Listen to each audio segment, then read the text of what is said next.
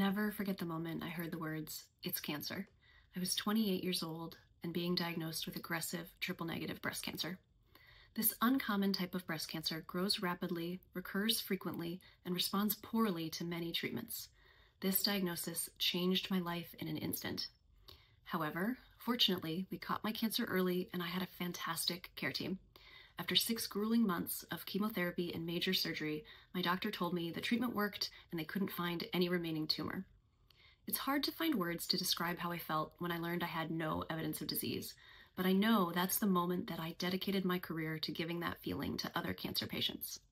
My name is Dr. Kristin Anderson, and I am an immunologist. I study how we can make the immune system better at killing cancer.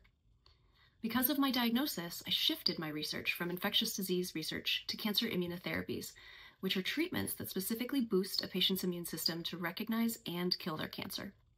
Immunotherapy can work wonders for some patients, but not for everyone or all cancer types. So my research focuses on making immunotherapy work for more people.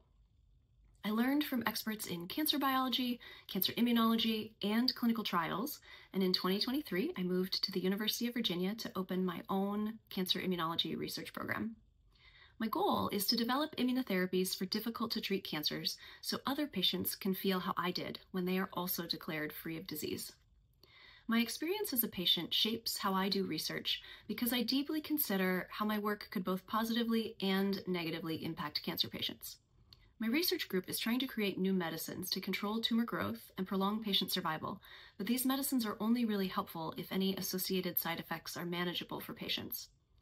Thinking about patient concerns is certainly not unique to my research group, but this mindset helps me prioritize research directions that center patient perspectives and priorities. I listen to patient advocates, who are often community members who have experienced the disease that I'm researching, because their insights can help me design better trials, better experiments, and better science. Cancer research saved my life, so I'm now working to make sure it saves many more.